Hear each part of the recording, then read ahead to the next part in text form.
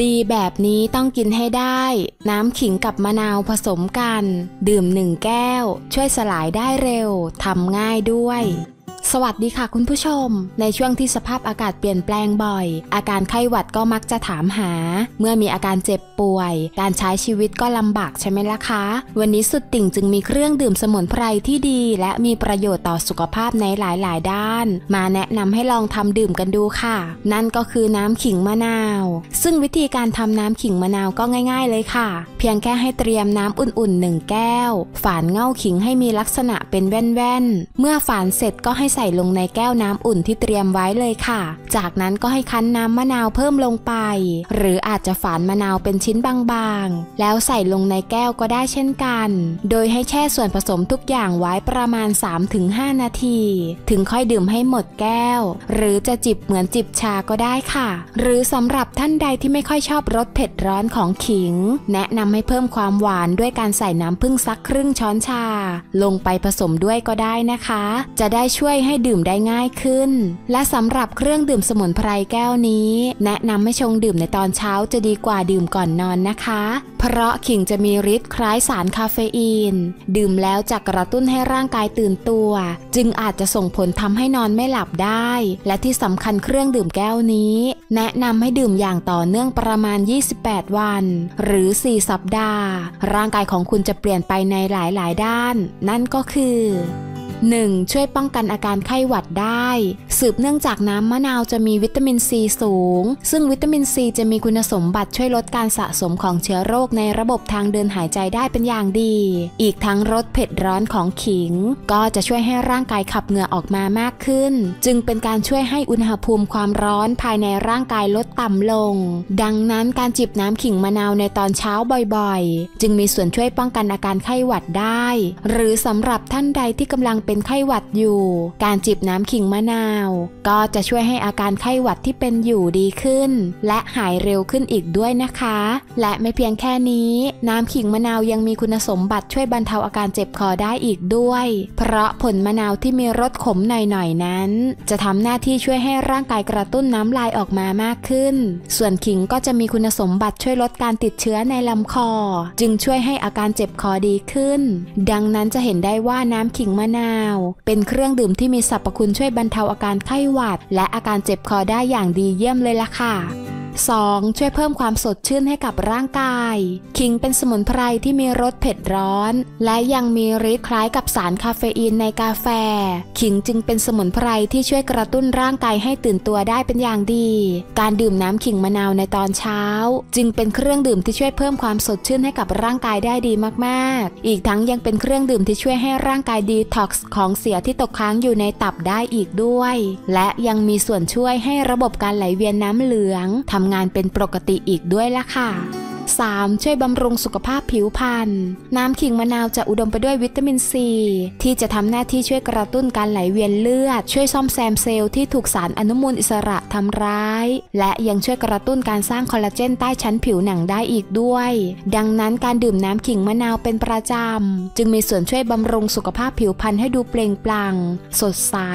และเต่งตึงมากยิ่งขึ้นได้อีกทั้งยังมีส่วนช่วยชะลอความเสื่อมของเซลล์ได้อีกด้วย เพราะน้ำขิงมะนาวจะมีสารต้านอนุมูลอิสระ วิตามินซีและวิตามิน B ที่จะทำหน้าที่ช่วยป้องกันผิวไม่ให้ถูกทำร้าย รวมไปถึงน้ำขิงมะนาวยังมีแร่ธาตุสำคัญ อาทิฟอสฟอรัสและแมกนีเซียม ซึ่งเป็นสารอาหารที่สำคัญ ที่จะทำหน้าที่ช่วยบำรุงกระดูก พร้อมทั้งช่วยกระตุ้นการสร้างคอลลาเจนใต้ชั้นผิว และยังช่วยบำรุงต่อมหมวกไตอีกด้วยล่ะค่ะ 4. ช่วยผ่อนคลายกล้ามเนื้อ น้ำขิงมะนาวเป็นเครื่องดื่มที่เหมาะมากๆสำหรับผู้ที่ต้องใช้พลังงาน หรือผู้ที่ออกกำลังกายเป็นประจำ เพราะการจิบน้ำขิงมะนาวสักแก้ว จะช่วยคืนความสดชื่นให้กับร่างกายหลังเสียเหงื่อมากได้เป็นอย่างดี พร้อมทั้งช่วยกระตุ้นให้การไหลเวียนของเลือด ไหลเวียนได้ดีมากยิ่งขึ้น จึงช่วยให้กล้ามเนื้อฟื้นตัวจากการบาดเจ็บต่างๆ ได้เร็วขึ้น อีกทั้งน้ำขิงมะนาวยังมีส่วนช่วยเพิ่มการเผาผลาญพลังงานในร่างกายได้เป็นอย่างดีเครื่องดื่มแก้วนี้จึงเหมาะมากกับคนที่ไม่ค่อยมีเวลาได้ออกกำลังกาย แต่อยากให้พุงยุบเร็วนั่นเองค่ะ 5. ช่วยให้ระบบย่อยอาหารทำงานได้อย่างมีประสิทธิภาพ น้ำขิงมะนาวจะเป็นตัวกระตุ้นให้ตับผลิตน้ำย่อยออกมามากขึ้น ดังนั้นเครื่องดื่มน้ำขิงมะนาว จึงเป็นเครื่องดื่มที่เหมาะสำหรับใครที่ชอบมีอาการอาหารไม่ย่อยเป็นประจำ หรือทุกครั้งที่กินอาหารแล้ว มักมีอาการอึดอัดท้องและอาการท้องอืด การจิบน้ำขิงในตอนเช้าเป็นประจำทุกวัน อาการที่เป็นอยู่เหล่านี้จะดีขึ้นได้ และไม่เพียงแค่นี้ การจิบน้ำขิงมะนาวให้ได้เป็นประจำทุกวัน ยังมีส่วนช่วยกระตุ้นให้ร่างกายสร้างเอนไซม์ชนิดหนึ่งออกมามากขึ้น เพื่อที่จะดึงเอาไขมันที่ถูกสะสมไว้มาเผาผลาญเป็นพลังงาน โดยไขมันที่ถูกเผาผลาญนั้น จะถูกขับออกมาในรูปแบบปัสสาวะ ดังนั้นน้ำขิงมะนาวจึงเป็นเครื่องดื่มที่มีส่วนช่วยในเรื่องลดน้ำหนักได้สำหรับท่านใดที่กำลังควบคุมน้ำหนัก ลองทำเครื่องดื่มแก้วนี้ดื่มในตอนเช้าทุกวันดูสิคะ รับรองว่าการลดน้ำหนักจะเห็นผลที่ชัดเจนแน่นอนค่ะ แต่ทั้งนี้ทั้งนั้นถึงแม้ว่าเครื่องดื่มอย่างน้ำขิงมะนาวจะมีประโยชน์ต่อสุขภาพในหลายด้านก็จริง แต่สำหรับผู้ที่มีปัญหาด้านสุขภาพบางอย่าง ก็ไม่สามารถที่จะดื่มเครื่องดื่มแก้วนี้ได้นะคะ เพราะถ้าหากดื่มเข้าไป ก็อาจจะทำให้ปัญหาด้านสุขภาพที่มีอยู่ เป็นหนักมากยิ่งขึ้นได้ และสำหรับผู้ที่ไม่เหมาะที่จะดื่มน้ำขิงมะนาว มีดังนี้ค่ะ 1. ผู้ที่ป่วยเป็นโรคเบาหวาน และผู้ที่มีปัญหาเกี่ยวกับระบบย่อยอาหาร เพราะน้ำขิงมะนาวจะมีสรรพคุณช่วยย่อยมากเกินไป จึงอาจจะทำให้เกิดอาการคลื่นไส้และท้องเสียได้ อีกทั้งขิงยังเป็นสมุนไพร ที่มีส่วนช่วยกระตุ้นให้เกิดกรดในกระเพาะอาหาร และยังมีส่วนช่วยลดระดับความดันโลหิตอีกด้วย ดังนั้นผู้ที่มีปัญหาเกี่ยวกับระบบย่อยอาหาร และผู้ที่ป่วยเป็นโรคเบาหวาน จึงไม่เหมาะที่จะดื่มน้ำขิงมะนาวนะคะ 2. ผู้ที่นอนน้อยสำหรับผู้ที่มีอาการอ่อนเพลียที่มีสาเหตุมาจากพักผ่อนไม่เพียงพอ ไม่ควรดื่มน้ำขิงมะนาวก่อนนอนนะคะ เพราะขิงจะมีฤทธิ์คล้ายกับสารคาเฟอีนในกาแฟ อีกทั้งการจิบน้ำขิงก่อนเข้านอน ยังอาจจะทำให้ลุกขึ้นมาปัสสาวะตอนกลางคืนบ่อย จนทำให้นอนได้ไม่เต็มอิ่ม ร่างกายยิ่งจะอ่อนเพลียมากไปกว่าเดิมค่ะ 3. ผู้ที่มีปัญหาเกี่ยวกับโรคความดันโลหิตต่ำ เพราะการดื่มน้ำขิงมะนาว จะยิ่งทำให้การไหลเวียนของเลือดช้าลงกว่าเดิม จึงอาจจะส่งผลทำให้เลือดไปเลี้ยงสมองได้ไม่เพียงพอ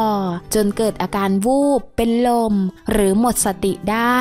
รวมไปถึงผู้ที่มีปัญหาเกี่ยวกับระบบการไหลเวียนของเลือด การดื่มน้ำขิงมะนาว อาจจะทำให้หลอดเลือดหนาตัวขึ้น เลือดแข็งตัวยาก เกล็ดเลือดจับตัวกันเป็นลิ่ม หรืออาจจะทำให้เลือดออกได้ง่ายค่ะ 4. ผู้ที่ป่วยเป็นโรคนิ่วในถุงน้ำดี การดื่มน้ำขิงยิ่งจะเป็นการกระตุ้นให้ร่างกายผลิตน้ำดีออกมา จนทำให้เกิดการอุดตันของทางเดินน้ำดีได้